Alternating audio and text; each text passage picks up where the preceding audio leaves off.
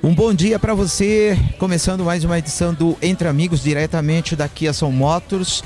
E também, ó, mostrando meu sapato novo da BR Sport, a marca da Calçados Beira Rio, que está me calçando hoje, que você encontra. Olha que lindo o modelo. Mostra mais um pouquinho, ó. Olha que lindo o solado, a cor, combinando tudo, né?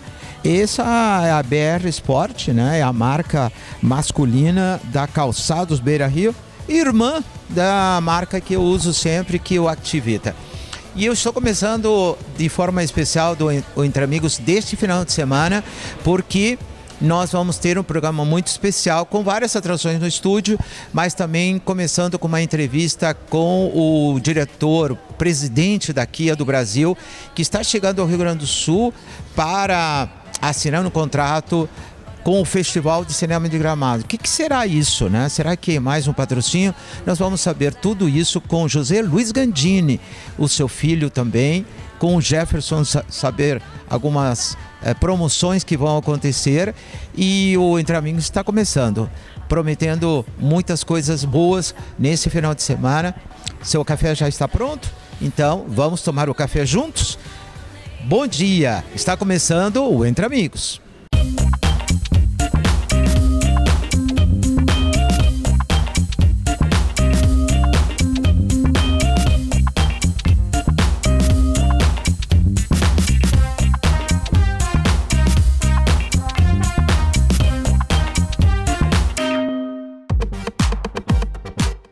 Chegando aqui na Kia São Motos para me encontrar com o grande empresário do Brasil que acredita muito, né, José Luiz Gandini. Grande porque tá gordo, é por isso que ele tá falando assim. Né? Grande porque você tem um, um filho importante. Pode vir, ah, Gustavo, né? Gustavo. Gustavo, tudo bem? Prazer, tudo bem? Tudo bem. É, gosta muito do Rio Grande do Sul, dá para ver, né? Ah, demais. Estado maravilhoso, né? Cadê a Leila? Cadê a, a Leila Schuster? A Leila tá em casa, não veio. Sabe o que acontece? Eu vim para cá esse fim de semana para participar do rally que vai ter agora, o Rally dos Vinhedos. Por isso que tem um carro especial. Ali. Isso, tô com meu carro aí. Eu já estou competindo desde o ano passado, no, no fazendo a, o Campeonato Brasileiro. E o ano passado eu peguei segundo lugar no brasileiro, fiquei vice-campeão brasileiro e gostei da brincadeira. aí estou fazendo todos. E esse fim de semana aqui tem lá em Bento a, a etapa do Rally dos Vinhedos. Muito bacana. E aí não tinha como trazer a Leila, porque o carro são dois lugares, sou eu e o navegador. Então a Leila ia ficar no hotel sozinha, ela não veio, acabou ficando lá. Mas a gente ela... sente muita falta porque ele, ela é muito simpática, né? muito agradável. Uh, eu quero dizer que nós somos um convite especial do Grupo Bandeirantes para você conhecer os estúdios da Veracruz, lá em São Bernardo do Campo. Né? Nós queremos apresentar a Leila também, porque a Band está fazendo é, filmes, né? Nós estamos começando a, a, a, fazer filmes, né? Num lugar que tem muito a ver também com a sua história, porque você também preserva muito bem a história do, do, do, do dos, dos carros, né?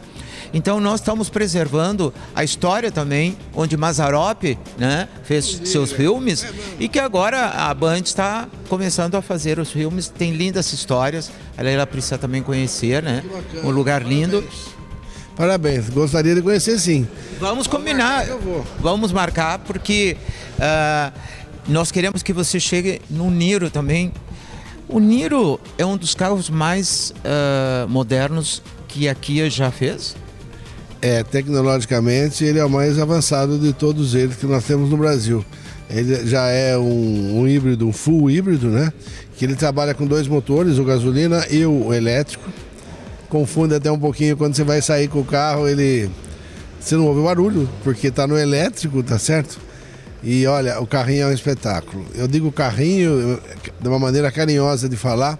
Eu fui para Gramado fim de semana passado com ele, eu e a Leila e ele fez 28 km com litro na estrada. Quer dizer, o carro é muito legal, gostoso de dirigir. É um espetáculo. O carro é, é um sucesso. Está começando agora, faltou produto demais, mas agora o Jefferson já está recebendo aí. Se Deus quiser, daqui para frente começa a ter produto mais à vontade aí, que nós sofremos muito. Por causa da pandemia, desregulou o mercado mundial. Né? É, desregulou a vida inteira, mas agora é o momento de se reerguer, de pensar em em viver, né? Nada melhor, né? Que viver. Agora, dá para ver que ele está aqui também por uma questão importante. Que você sabe que para nós, para o Brasil inteiro, mas para o Rio Grande do Sul, o Festival de Cinema de Gramado tem uma importância muito, muito grande, né? Porque é o primeiro grande evento. Eu sei que você gosta muito do festival, né? Sim, sim. Já, tive, já estamos presentes com o festival há quase 15 anos, né? E sempre um evento lindo, muito legal. O gramado fica super movimentado, é, vira um, um centro aí de. Todo mundo vem para participar, para acompanhar o evento e a gente está participando com os carros, fazendo o transporte das, dos artistas, celebridades que estão presentes no evento. E uma maneira da Kia também de estar tá apoiando o cinema brasileiro, que eu acho que é, acho que é, um, é bem legal a gente estar tá participando dessa forma que é, é importante também essa associação da questão ecológica, né? Dos carros da Kia, da tecnologia, de tudo isso num festival, né? Porque uh, Gramado também cuida muito disso, né? Então é, é uma associação também de coisas é, que tem em comum. Hoje o mundo tem que pensar assim, né? Se não for assim, nós não vamos ter como sobreviver no mundo. Infelizmente, se você parar para analisar o que fazem com os oceanos aqui, inclusive agora está está patrocinando, está apoiando um sistema também de tentar limpar os oceanos, que é uma, é uma judiação que fazem, né? Jogam tudo no mar, os, os grandes transatlânticos jogam tudo no mar, é, tudo vai para o mar. O mar virou lixo, não tem cabimento isso, né? Agora, Gandini, você também sempre pensa na economia que as pessoas podem fazer. Se não me engano, você e a Kia foram as primeiras empresas em dar cinco anos de garantia no Brasil. Eu quero lembrar que as outras montadoras davam apenas um ano. E você foi o pioneiro? É, começou uma virada na, naquela época, já faz tempo, já mudando de um. Tinha um e dois anos no Brasil. Aí nós fomos para cinco, lógico, junto Nossa, com a... Era muito. Era, era uma loucura. Na estrada brasileira? Pois é, e hoje já tem outros países dando até mais mas eu acho que cinco anos foi uma conquista nossa, sim. E hoje já tem outras marcas já copiando e vindo atrás e dando, porque tem que fazer. Eu acho que o carro aguenta, o carro, o carro sendo bem construído, tendo tecnologia, tudo funciona, não tem por que se assustar com isso, né? Eu estou muito feliz com a qualidade dos produtos que os carros não dão problema, os carros vão muito bem. E olha que ela iniciou agora essa virada mundial aí para a parte elétrica, é, híbrida, e os carros vão indo muito bem. Não temos problema nenhum, nenhum nos carros elétricos e híbridos. Graças a Deus é um sucesso. Agora, quem conhece uh, você e a sua trajetória diz assim, mas por que, que não, não virou só elétrico e por que, que é híbrido? E por causa de que o Brasil ainda não está preparado no Brasil inteiro para ter carros elétricos? Eu vou dizer para você, sem medo de errar, que o mundo não está preparado ainda para o carro elétrico. Com raríssimas exceções, tem países que estão. Você vai para a Europa, você acha lugares que tem carregador em todo lugar, você tem como usar o carro elétrico. Mas no Brasil, nós não temos condição de ter isso. Nós fizemos uma experiência nós temos o EV6. O EV de veículo elétrico, o 6 é o modelo dele, é um carro totalmente moderno, uma coisa maravilhosa. E nós pegamos três jornalistas especializados, entre eles estava o César Unhani, que é do, do, do, do Auto Esporte da Globo e mais dois jornalistas lá que eu não me recordo. Eu conhece o Bresolim da, daqui da Band. Muito bom, e é ótimo. Eu, meu amigo Bresolim, gosto muito dele. Mas o que eu quero dizer é o seguinte: nós queríamos pegar, fazer uma viagem de Itu, onde nós temos a sede da Kia, até Montevidéu, onde nós temos a sede da Kia do Uruguai, que também é e nossa. sua também. Aí pegamos os três jornalistas, colocamos no carro elétrico, mapeamos onde tem os carregadores e os carros saíram de Itu com apoio atrás, mandamos uma Carnival com técnico atrás, com assessoria de imprensa para ir cobrindo a viagem e fomos até o Uruguai. Tudo certinho. Olha, você vai abastecer o carro aqui no carregador tal que tem, depois tem outro que tem. Você não acredita o que foi. No primeiro que chegaram, tinham roubado o carregador. No segundo, não tinha o cabo, né, Gustavo? Aí o terceiro tinha um carro estacionado na frente, a chave não estava lá, não podia carregar. Quer dizer, foi um transtorno muito grande. Chegou lá, lógico, o carro tem o carregador dele, mas no carregador seu, sem ser o rápido, demora muito para carregar a bateria. Foi um espetáculo a viagem, os jornalistas adoraram, mas esses problemas operacionais é que eu digo que o Brasil não está preparado. Agora, a, a cab... é. Desculpe, só para completar. O híbrido não, o híbrido você não. Acabou a bateria, você tem é, o motor a gasolina junto. Então você está você tá colaborando para a redução de emissões no país mas você ainda tem o seu motor a gasolina para poder se locomover. Uma segurança. Uma segurança, não tenha dúvida. Eu acho que a curto prazo o híbrido é a solução para o Brasil. Eu quero saber, você sabe quais são os carros que vão estar disponíveis em Gramado? É o Niro, o Stone, qual, quais são? Nós vamos estar praticamente com a linha toda, com o Stonic, com o Niro, Sportage, é, Carnival. Vamos estar com todos os, os veículos aí atendendo os artistas e celebridades lá em Gramado. Bom, eu só quero dizer que tem uma promoção para nós aqui da região de Porto Alegre da Kia São Motos, porque depois esses carros, depois que ganham um banho de glamour, né, com os atores, com as atrizes, com as personalidades, eles retornam para ser comercializados aqui com preços especiais, né? Mas aí sou o Jefferson que sabe, né?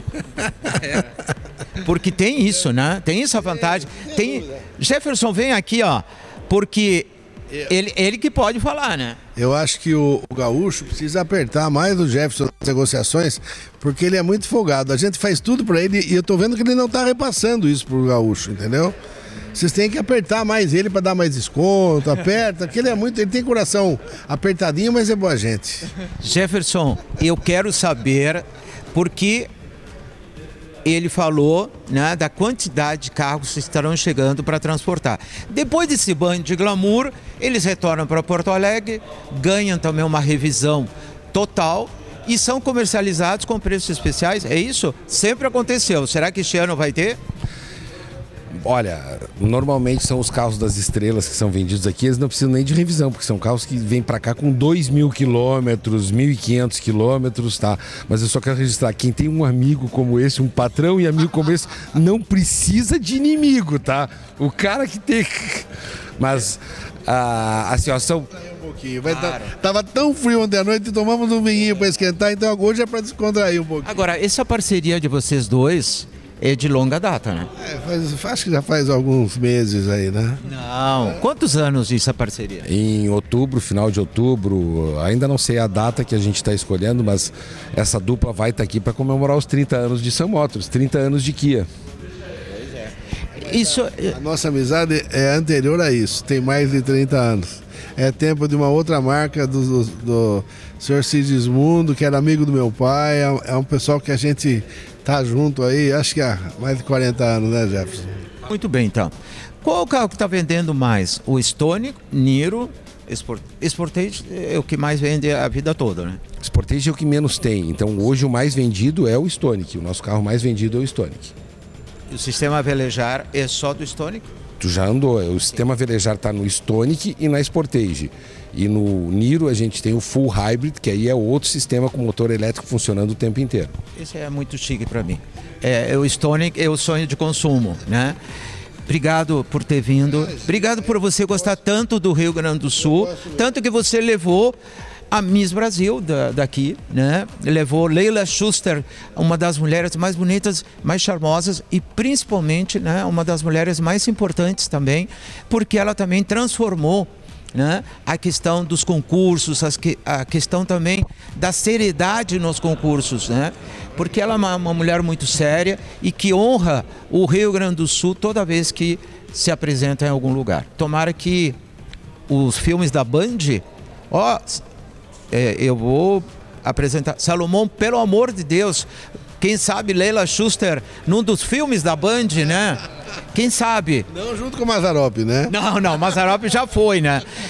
É, eu quero dizer o seguinte, que queremos convidar você para conhecer os estudos da Vera Cruz, tá? Porque a Band está agora com um novo programa Melhor da Noite com Zeca Camargo e a Glenda também que vai estrear. Logo, né? Tá, para entrar. Bem a Glenda E tá para entrar, tá para estrear logo, né? E vai ser um programa que vai misturar também redes sociais, né?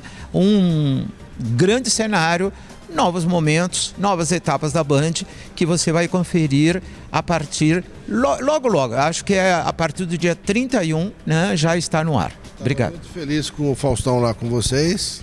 Fizemos várias ações de merchan na, na Band com o Fausto, é meu amigo pessoal. Gosto muito dele e mudou agora. Vamos ver como é que vai ser com a Glenda lá, que eu gosto muito dela também. Tenho certeza que vai ser um sucesso. Certamente nós vamos estar com os carros da, Vamos tá lá, da- se daqui. Deus quiser, tá bom, então. Obrigado por ter vindo também. Obrigado. Te espero em Gramado, hein? Manda um beijo para Leila, tá? Pode deixar, pode deixar. Eu dou beijo. Ah, é? Obrigado. Um intervalo, voltamos já já no Entre Amigos aqui na tela da Band.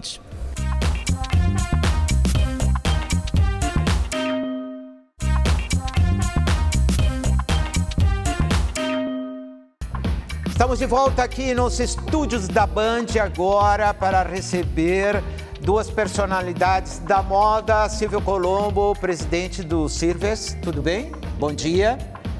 E a dama da alta costura do Brasil, Doris Expor, aplauso para ela. Doris, que bom te receber, meu Deus do céu. Que bom te receber. Te- Te assustei, não? Um pouquinho. Te assustei pela gritaria ou porque realmente tu és a dama da, da alta costura? Quantos É porque anos? sempre, sempre todos essas, esses elogios estão sempre pro Rui, né? E eu trabalhando sempre do Mas lado o Rui, dele. Rui, eu posso elogiar, né? Ele tá avisando que sim. tá? Agora, agora eu estou aprendendo, estou aprendendo já. Quantos anos de união com o Rui? Mais 60. Meu Ses- Deus. Quase Onde vocês se conheceram? para 60 Onde de vocês se conheceram? Em Porto Alegre. É? É. Ele já tinha vindo da, da França? Sim, ele recém tinha chegado da, da França e uma amiga em comum, eh, eu, eu tinha 16 anos, estava precisando trabalhar, meu pai estava com problemas. E disse, olha, tem um rapaz que chegou de Novo Hamburgo, que estudou moda e está procurando uma secretária. Eu fui lá.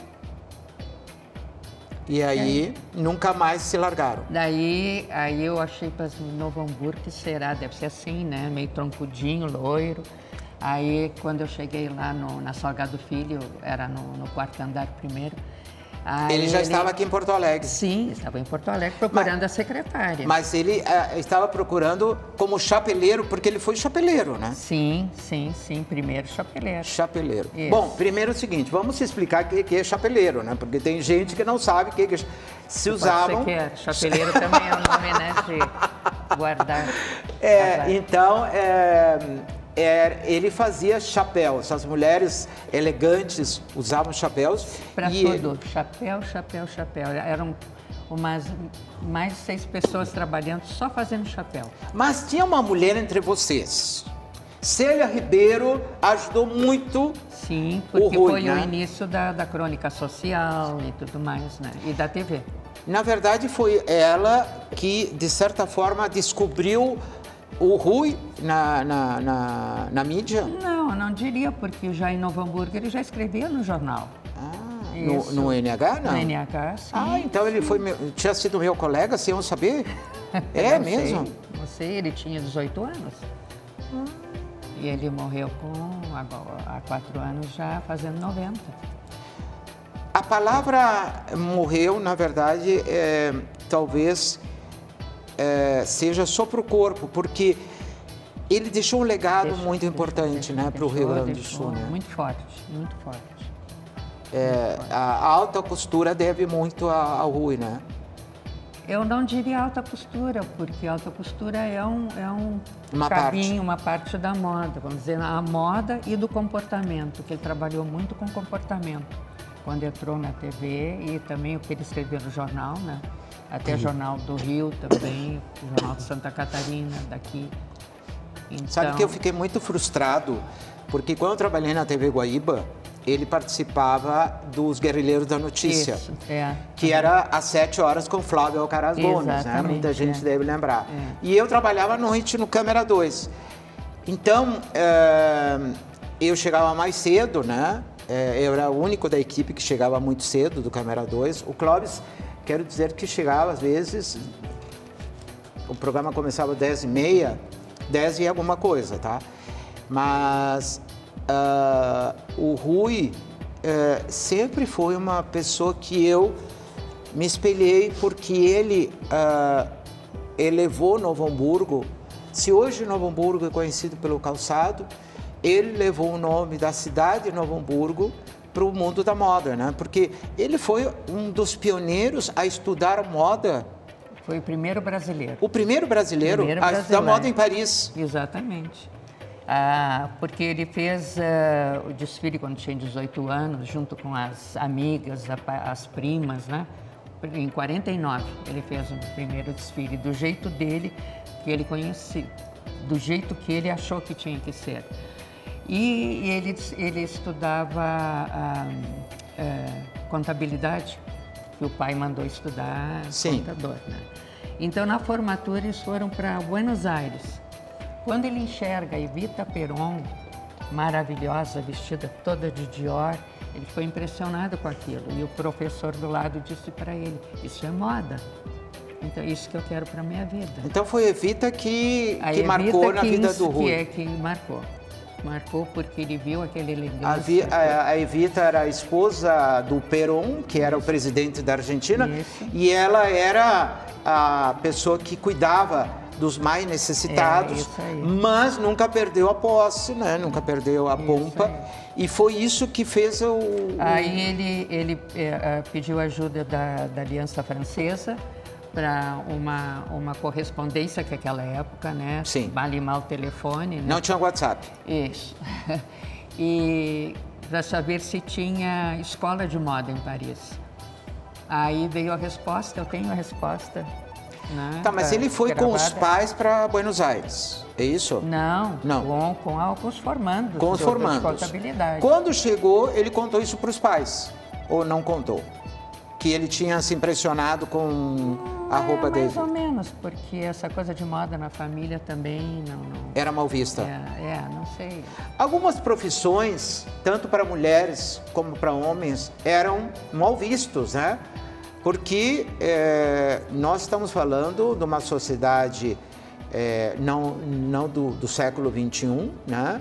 E principalmente de uma uh, região de tradição germânica, de imigração germânica, né? É, mas só que a moda não, é, porque eh, tem que pensar o, o, a época o que que acontecia, né?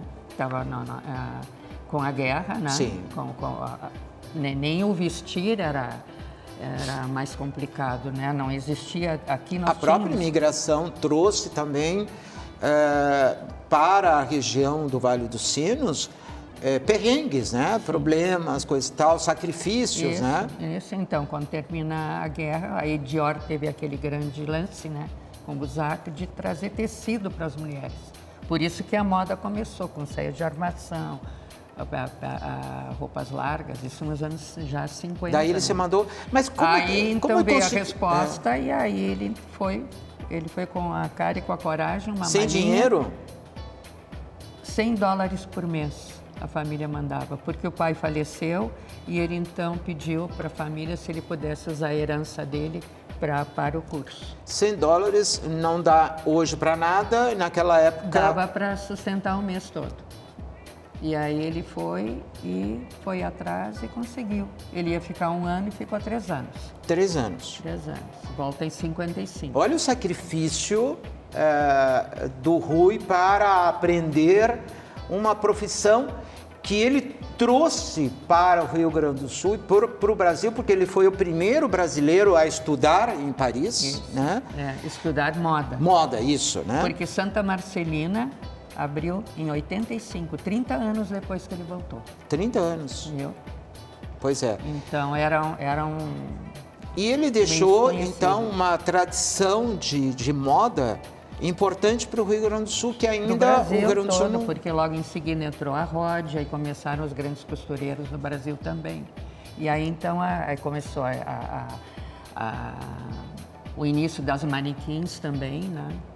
Então... Agora, eu imagino quantas telespectadoras estão hoje assistindo o nosso Entre Amigos e vendo em ti as suas histórias, porque quantos vestidos o Rui fez para milhares de mulheres que estão nos assistindo hoje? Muita coisa.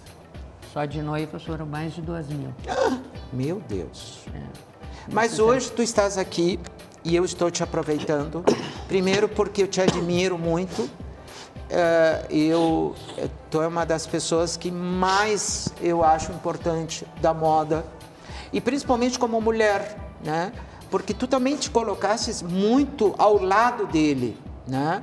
Eh, embora tu eh, até nos últimos momentos, né? Tu fosses a bengala dele, que ele chama bengala bonita, né? Sim. Mas bengala no sentido de lembrar das coisas, lembrar de certas coisas, ah, e tu te colocasses muito sempre com o pé atrás, deixando que ele ah, pudesse aparecer, né?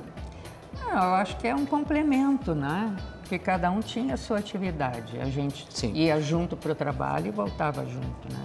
Então a gente vivia 24 horas. Bom, nós temos um- estamos mostrando os desfiles que não são do Rui. Silvio, de onde são esses desfiles? Isso aconteceu no RS Moda hum, na semana passada, que foi um grande evento que reuniu 40 empresas de, indústria- de confecções aqui do Rio Grande do Sul, algumas até de fora do estado. Essas aí eu acho que é da- das faculdades de moda. E, e foi um sucesso. Ah, porque, foi um é, sucesso. O Rui teve que aprender a sua profissão na França. Hoje, os gaúchos têm ah, o apoio das universidades para aprender a moda e É. esse resultado está sendo visto agora na passarela? Exatamente, várias faculdades de moda que a gente tem aqui no Sul, inclusive que vários aqui que, que se graduaram aqui no Sul fizeram sucesso até no exterior, né? Então a gente tem que valorizar esse pessoal todo com grandes... Nossa, ah, quanta gente estava bom. eh, ah, é, até foi de manhã cedo não tinha tanto público como Não? era tarde. Tivemos um grande. O problema que aconteceu é que foi bem no dia que anunciaram um ciclone, então as pessoas ficaram com muito medo, né? Então não teve a lotação que teve no dia Mas que anterior. bom que nós temos as imagens, então isso mostra também o trabalho sério eh, eh, de muita gente, porque eh, a gente fala do Rui, a gente fala de tan- tantas pessoas, mas por trás, quantas pessoas Esse, tem? esse é do Silvio. É, Esse, é- do, esse, é. esse é a da tua nossa- marca? da Nossa É. marca, é de moda praia. Moda Mas o, Ah, o importante Como se chama é a moda praia? Como? Como se chama a tua moda É praia? Maré Blue. A nossa é uma marca, até uma história bem parecida com, É. com o Rui, porque meus pais são italianos, né? São de Milão, casaram lá, vieram depois de casados. Meu pai técnico em tecelagem. E eles vieram a Porto Alegre para montar uma empresa. Meu pai veio como técnico para montar uma empresa que era do Grupo Matarazzo, de elásticos em Porto Alegre. Acabou se apaixonando pelo país, não quis voltar. E minha mãe, com O ideias grupo de Matarazzo de São Paulo. são Paulo, mas eles criaram uma empresa de, de elásticos aqui em Porto Alegre.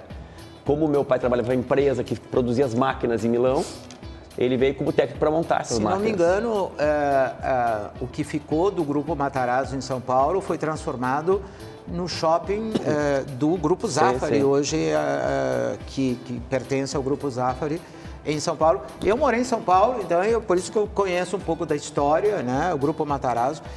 Daí E- eles vieram para Porto Alegre, meu pai trabalhando nessa empresa de tecelagem, e, e mandaram dos Estados Unidos de uma empresa americana que fazia o primeiro, é, é um tipo de um tecido elástico, né? Que lá fazia uma da praia. E meu pai disse, mano, isso aqui é- dá para fazer aqui também, né? Daí ele começou a produzir ele e a minha mãe as primeiras peças dali, logo depois colocaram em próprio e botaram em empresa. Então nós temos, que, 57. nós temos que ter esse desfile no início do, do- da época do- da primavera, do verão aqui no programa. Eu adoro desfiles, né? Ah, não é à toa que nós temos o- a chancela de uma das maiores marcas de sapato, que é a Calçados Beira Rio, né? Como é, é tão bonita essa profissão e quantas pessoas são vinculadas à moda, né? Porque tem a manequim, tem a, a, a pessoa que faz, inclusive o serviço, olha que lindo o serviço que, eu, que eu, eh, trouxeram para vocês do ah, Motu Funny Food. Eh, como que é? Isso. Está aparecendo aqui no seu vídeo. Felipe, dá para mostrar o que nós estamos reverenciando aqui, as delícias. Isso aqui é um sanduichinho de beterraba, não? Um sanduichinho de beterraba. Aqui, ó. Aqui que é macarrão. Tu conhece o que que é macarrão, né? Tu é chique, tu conhece. E lá também tem, né? Ah, pro Silvio também tem? Tem ali, ó. Ah, ó, tu ganhou também, então. Também ganhei. Muito bem, então, olha, é bonito, né? E se você quiser é, presentear alguém também, você pode entrar em contato com esse Instagram, tem coisas maravilhosas. Essa sugestão. Ah, tem suquinho aqui também? Chá verde? Que... Ah, chá verde! Tu sabia que eu gosto de chá verde? Meu Deus, não sabia que existia chá verde em garrafinha? Olha, bom. E como uh, tu entraste no RS Moda? Posso chamar de tu? Claro, claro. Não, porque nós, como empresa, nós sempre contribuímos para o PIERTS, né? E, e quando o- um período que a- a- as coisas estavam meio, ah, com as empresas meio complicadas, eh, me chamaram um- uma pessoa amiga, vamos dar uma olhada como é que está aquele coisa lá, porque 25 anos estava na mão o, o presidente do sindicato do vestuário, na mão de uma pessoa só, 25 anos. Então se reuniu um grupo de, de, de empresários, nós tivemos toda a assistência do SEBRAE, do SENAI, e, e aí a- ele fo- saiu e aí nós iniciamos. E Então, aí já- o Silvio, tu és o presidente Hoje do... e agora é o presidente. Eu fui presidente antes dele e antes dele foi o Nelson. ah, Como que está a indústria do vestuário? Bom, a indústria do vestuário, ela já foi muito mais forte do que é hoje, né? Então, é questão de, de impostos, eh, migraram, muitas empresas migraram para Santa Catarina, questão de, de impostos mais eh. Atenção, é, governador Eduardo Leite, olha o que ele está dizendo, né? Então a gente está tentando resgatar, muita empresa está voltando. E, e foi sempre muito importante o Rio Grande do Sul para a moda, né, para o Brasil. Sempre A foi mão de obra... muito boa, qualificada. E esse é o grande problema também, né, de conseguir É. mão de obra qualificada. Tanto que a gente tem, o Civex agora está fazendo, já há alguns anos já, promovendo ah, escolas de É. costura pelo Senai. É muito interessante porque são caminhões extremamente modernos, né? Custam mais de 2 milhões de reais, que é uma escola dentro de um caminhão. Uma carreta, né? Uma carreta enorme, que ela, uma- ela, ela uma tem uma maneira de que ela beleza. se amplia e ali É. dentro é uma mini fábrica completa, super moderna. E isso circula, por exemplo, para o interior, fica fazendo 15 dias no interior, fazendo uma, uma, uma turma de 25 alunos. Ah, a periferia de Porto Alegre. Que lindo, é, que lindo porque tu tá dando também a chance de uma profissão, né, para muitas pessoas e também indo ao encontro delas, né? Porque às vezes as pessoas dizem, ah, mas por que, que... gente tem gente que não tem às vezes o valor é, da condução, né, para ir no lugar, não sabe também para onde Claro. ir. Então quando você proporciona isso, eu acho maravilhoso. E é, um- e é uma profissão que tá- tem muita procura, está faltando mão de obra. Então, a, a pessoa que se qualificar, ela vai ter um lugar muito, muito bom nas empresas e até com uma remuneração boa. É, ali tem mais desfiles. E a Mais gente dá desfiles. alguns números, por exemplo, hoje a gente tem mais ou menos em torno de 28 mil empregos diretos e 38 mil indiretos. Mas pode ser muito mais. Claro, mas quer dizer, é, emprega muita gente. É um setor que emprega muita gente. Se a gente considerar bebidas e alimentos juntos, nós somos o segundo.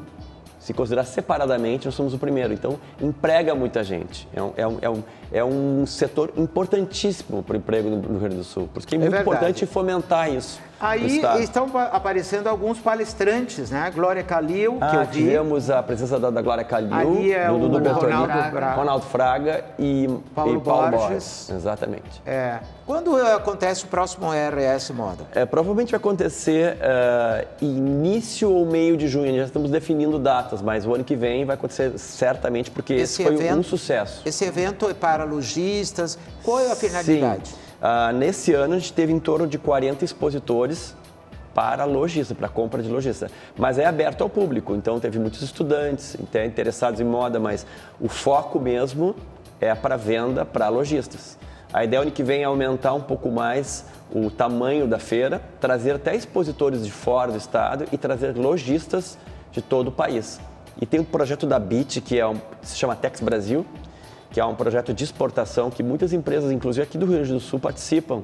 Então a ideia é que essas empresas participem da, da feira e que se traga importadores de fora do país para fazer rodadas de negócios na feira. Olha, eu, eu sugiro, tá? Se tu me permites, tá? Eu não, não tenho é, incumbência disso, mas nós temos uma feira de calçados importante agora, em novembro, a partir do dia 21, que se chama Zero Grau, que vem muitos importadores da América Latina, né, que é o principal foco, né, e de outros países, lojistas, coisa e tal, que sabe, de repente, montam um stand ali, porque muitos lojistas de calçado também têm de confecção, né?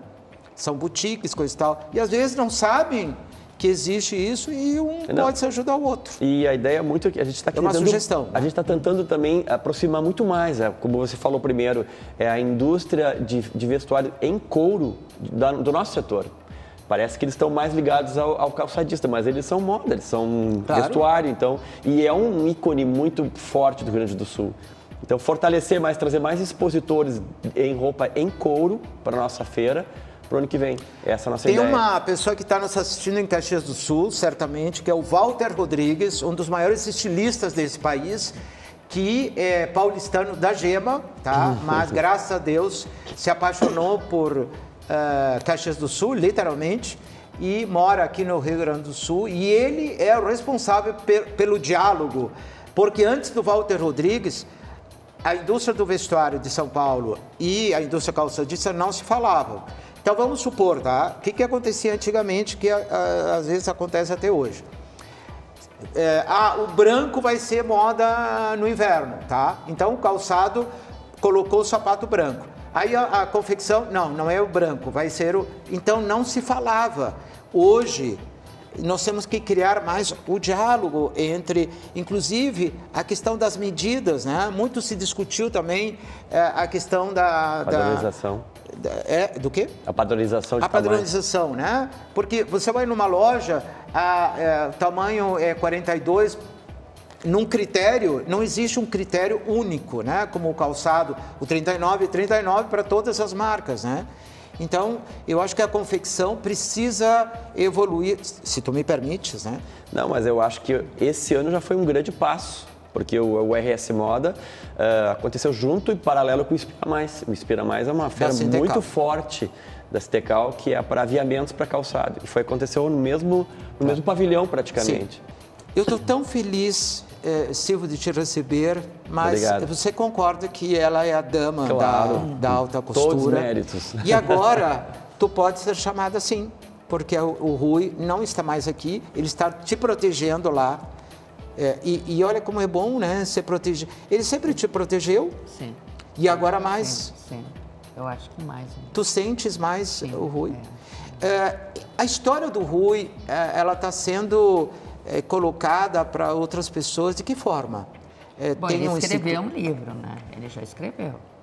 Memórias Alinhavadas. Sim, né? mas tu, quando tu vai escrever o teu? Ah, isso eu não sei, precisa me dar a luz. Baixar, sim. Porque é... nunca foi minha área, então é mais complicado. Mas eu tenho, nós temos todo um acervo de todo o trabalho que ele tem. Deixa eu mandar um beijo para uma pessoa que adora. Hildegar Angel adorava o Rui né? Sim, ele, ele faz parte da Academia Brasileira de Moda. Ela, é, Ela quando veio ao Rio Grande do Sul, disse assim, nossa, como eu gosto do Rui, é, coisa e tal. É, ela e vai é, muito a Gramado, né? É, e ela é, foi uma grande incentivadora do Instituto Rui, né? Sim, também, sim. Como que está o Instituto? Por enquanto, porque a minha neta que, que, que ficava mais à frente, agora ela está morando na Europa então em Roma. O Rui é... conseguiu é, realizar todos os seus desejos? Olha, eu acho que sim, porque ele passou por, né, ele passou por jornal, por TV, foi professor da Fevale sete anos. As manequins As adoravam manequins, ele. Sim, ele começou toda essa profissão de manequim com a Lúcia Cúria, que foi uma das primeiras, né? Casou com o Moreira Salles. Sim. E, então. Desfilar para o Rui era conquistar o Oscar brasileiro da moda.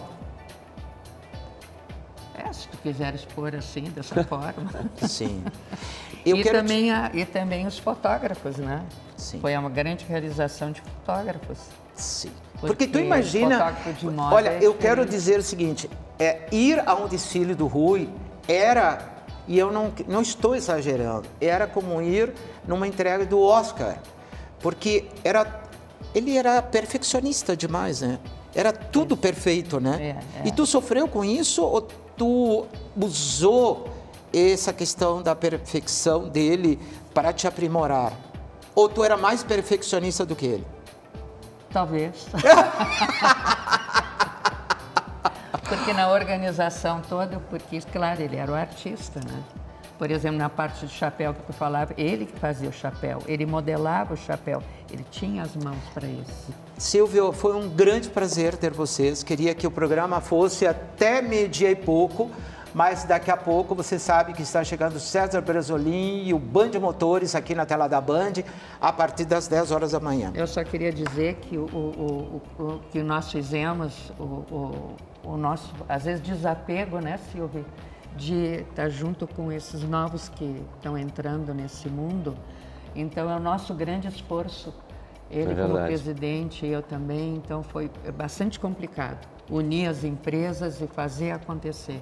Então, é essa força que a gente Eu acho que é, é- é- é a, É. nossa, é a nossa missão Nossa essa, né? missão. Mas que bom É. ter vocês né, Trabalhamos que assim, acreditam. que nem eu disse para a gente trabalha praticamente eh, por gosto, porque não se ganha nada no sindicato, né? Mas a ideia é de fortalecer a indústria, de unir, de trazer, por exemplo, uma a maioria são pequenas indústrias do Rio Grande do Sul, pequenas, micro e pequenas indústrias. Olha, é, como força eu fui é, né? criado por uma simples costureira, eu te agradeço em nome de milhares de pessoas que trabalham nessa área. E se você não existisse, não existiam as costureiras e tantas Exato. outras pessoas. É, então é esse, esse que eu já não tenho mais, né? A empresa está desativada, mas eu me empenho em tentar ajudar no meu conhecimento tudo que A eu tua posso. presença já ajuda, porque tu tens todo o conhecimento e toda a credibilidade da moda do Rio Grande do Sul. Então, aplausos para Doris Expor, para Silvio Colombo.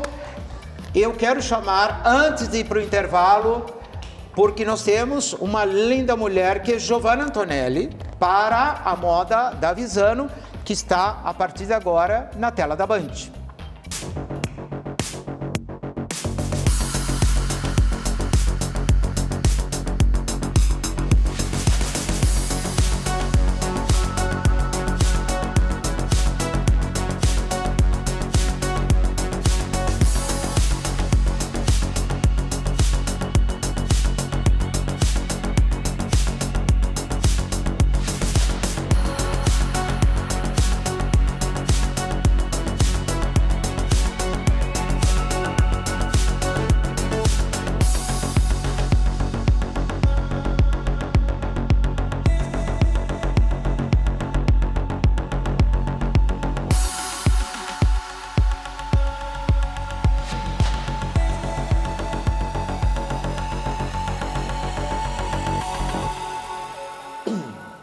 Pode conhecer toda a coleção Visano nesse final de semana. Não deixe para amanhã o que pode fazer hoje nas melhores lojas de todo o país. Nós vamos a um rápido intervalo. Na sequência está chegando, olha, o dono dessas coisas maravilhosas vai trazer mais. Nós estamos recebendo a terapeuta Paula Kowalski e ainda a Alessandra da eh, Guloseimas Leader Cake, que vai fazer um bolo ao vivo, uma banoffee. Gosta de banoffee? Gosta? Muito então tá. boa. Tudo isso, muito mais, logo depois do intervalo. Não sai daí porque o Entre Amigos volta já.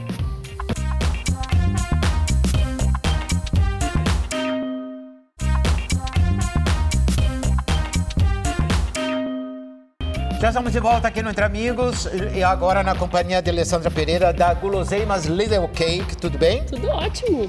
Olha, ah, o vídeo que você está vendo é de um bolo que você vai fazer hoje aqui. Vou fazer aqui, fui desafiada, né, por ti. Trouxe ele aqui, ó, pra montar ele ao vivo. Semana passada você fez um. Fez o, foi feito de ouro branco, que viralizou com mais de 50 mil visualizações. hoje? Hoje a gente vai fazer a banoffee.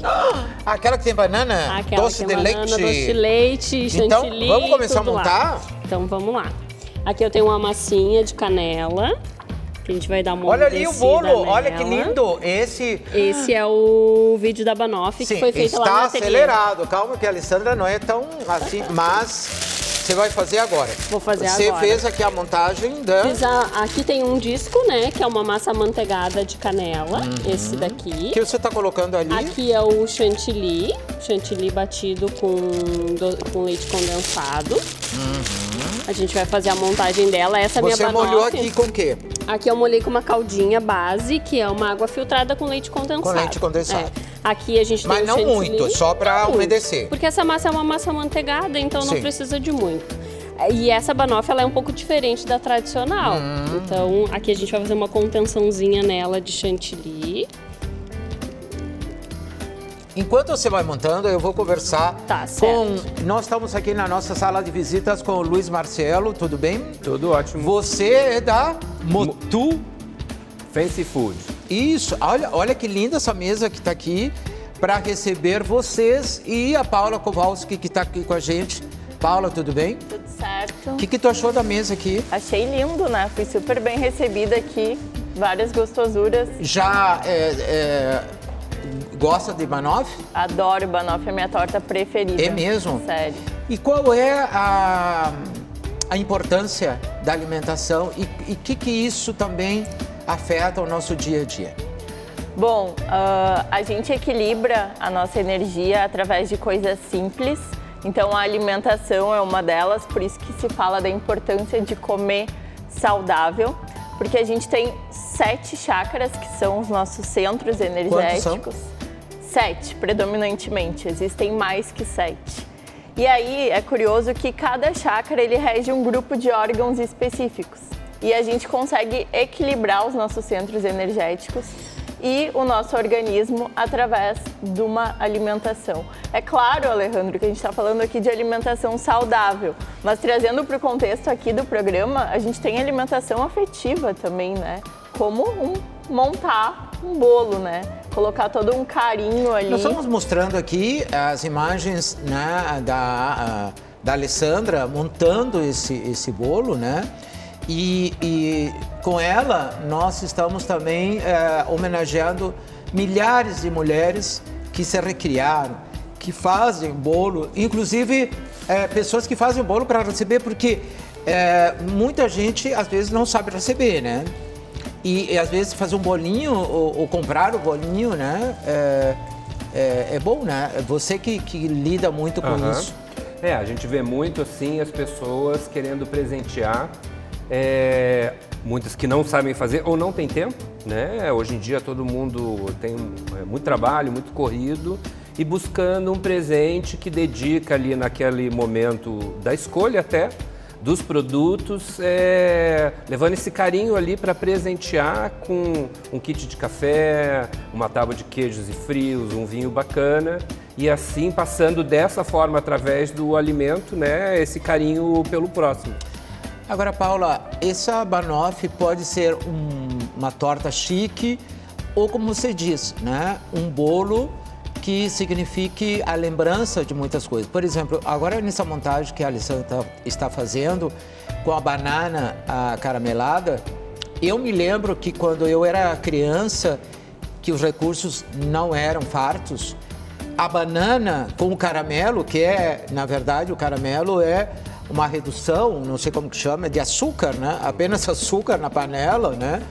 E é, é uma coisa barata, né? Então, lembra muito o meu passado. Embora na combinação com todos os ingredientes que ela faz a banoffee, ela fica um chique, né? A gente tem toda essa parte de crenças que a gente chama, né, que é o nosso sistema de memórias e que ele é ativado com coisas simples, por exemplo, com cheiros, com ambientes.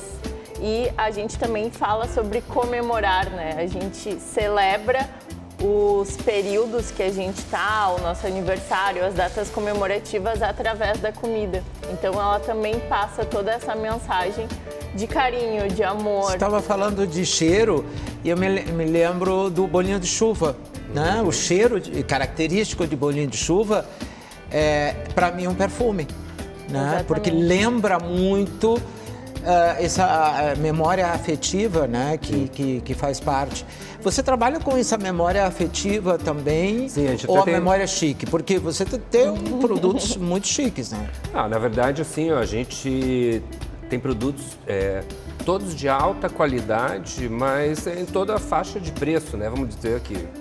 É, mas eu queria contar assim, um caso que a gente tem, acho que tem um casal que tem uma memória afetiva super especial lá na loja, porque ele era um estrangeiro que chegou na loja com um envelopezinho e entregou para a Pri, nossa encarregada que hoje ajudou a montar essa mesa linda aqui. E ele falou para ela, em, português, meio inglês, que ali estava o resultado do pré-natal, do, do, do sexo da criança. E ele não sabia, não tinha visto, a esposa não tinha visto e pediram para a gente montar um momento de revelação na loja. E a gente criou uns croissants recheados é, e a gente tinha decidido que seria um chantilly com morango se fosse menina e doce de leite se fosse menino. E a hora que chegou a família toda, né, a, a futura mamãe, ele, sogro, sogra, e ninguém sabia e a gente colocou aqueles croissants lindos assim na mesa.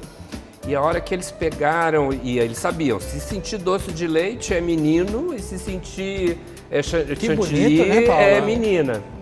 E eu tava ali assistindo aquele momento, né? E assim, ó, eu até fico arrepiado, porque na hora que eles morderam e sentiram aquele doce de leite, imagina a sensação do pai e da mãe. Claro. Nunca mais eles vão comer um doce de leite sem se arrepiar Agora, e sem lembrar daquele momento, Paula, né? Eu nunca imaginei que de repente sentir o sabor de alguma coisa pudesse remeter a uma ideia, né? Que coisa linda, Sim, né? E a gente tem a questão do queijo também, né? A gente está com uma tábua maravilhosa aqui na nossa frente. E... Pode mostrar, Felipe, ali essa, essa linda tábua que é, trouxe. Como que chama a empresa? Motu? Motu Fancy Food. E o queijo, ele fala muito sobre o nosso primeiro alimento, né? O leite, vem do leite, que é a alimentação materna que a gente teve.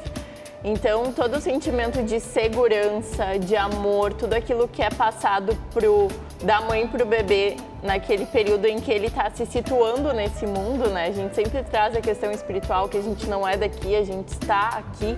É o que a gente sente cada vez que a gente consome o queijo. Então, cada é alimento, ele, ele nos faz equilibrar de alguma forma, ele nos proporciona. Falando de alimento, a Alessandra já está com a Banoff. Já está com ela Pronta, finalizada. deixa eu ver aqui, ó.